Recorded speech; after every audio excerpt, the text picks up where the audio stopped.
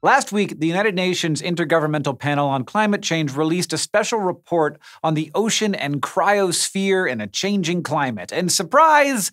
Things don't look great, but it's not all doom and gloom. The report also lays out the best ways we can deal with the negative impacts moving forward. The IPCC special report compiles data from around 7,000 scientific studies to assess how the world's ice and oceans are faring under our changing climate. And a lot of it is dedicated to the things climate scientists have been warning about for decades. Glaciers and ice sheets are melting, sea levels are rising, precipitation is increasing, and everything is projected to get worse in the future. That's not all, though. The bad news is we're already seeing a lot of some of the economic effects of all this change. For example, melting glaciers not only lead to increased risks of avalanches and floods, but also appear to be damaging tourism in places like national parks and ski resorts that owe their popularity to snowy peaks. And warming oceans aren't just bad for fish, they're also bad for the people who eat fish. Warmer water holds less oxygen and doesn't mix as well with the cold,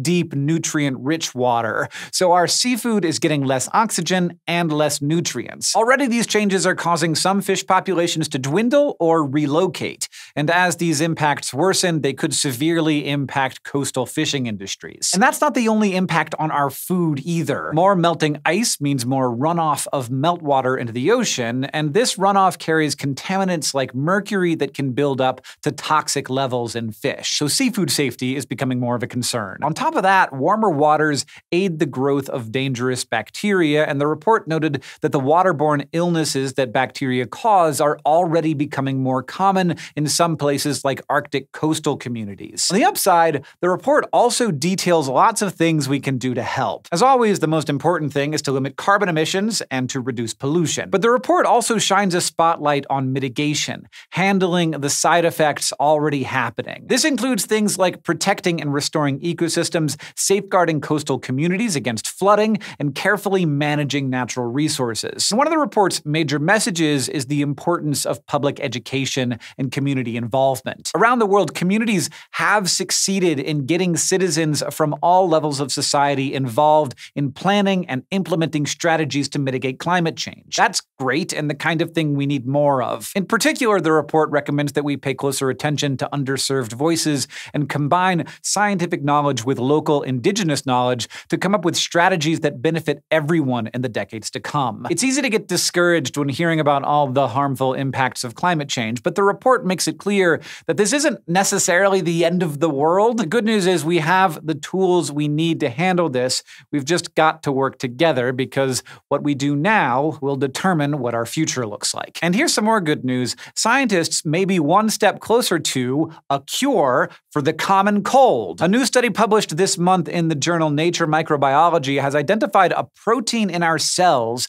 that might be the key to defeating enteroviruses. This group of viruses is responsible for a variety of diseases from rare neurological conditions to familiar nuisances like the common cold. And they've proven especially difficult to deal with. Not only are these viruses many and varied, they adapt quickly, making it difficult to develop lasting drug treatments for them. That's one reason why the common cold is so common. Instead of looking for treatments that target the viruses, some scientists are looking for treatments that target the human host. Viruses work by hijacking our cellular machinery. Stop that hijacking, and you prevent the illness. In this study, the researchers used CRISPR gene editing to identify which proteins in our cells the viruses latch onto. Basically, they cut chunks of DNA out of cells and then watched how the cells responded to viral infections. That brought their attention to a protein protein named SETD3. It helps accelerate muscle contraction, and it also helps enteroviruses multiply inside our cells, apparently. To confirm this, the researchers engineered human and mouse cells with their SETD3 genes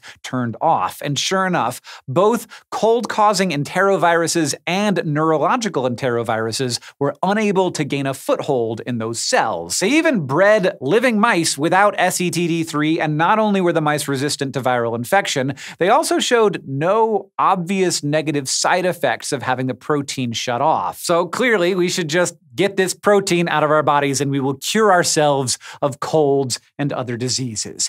Easy peasy. Except, just because lab mice in this study did okay without SETD3 does not mean that we will do okay without it. A study earlier this year found that female mice without SETD3 had smaller litters, and human uterine cells without it couldn't contract properly. So, more research is needed to understand just how important this protein is to us before we go about destroying it to thwart disease. Still, knowing that this protein is important to these viruses is a huge piece of intel. Now, we need to figure out why it matters so much. Because if it does turn out to be the virus's Achilles heel, medical researchers just might be able to use that knowledge to develop effective treatments for some of the most diverse and common viruses that ail us. Too bad they couldn't figure all that out before we entered cold and flu season. Luckily, viruses aren't all that October has to offer. It means a new SciShow pin. This month we have the lovely Sputnik satellite pin for sale. It's a stylish addition to any autumnal outfit and will surely wow the crowds at your local pumpkin patch or harvest festival.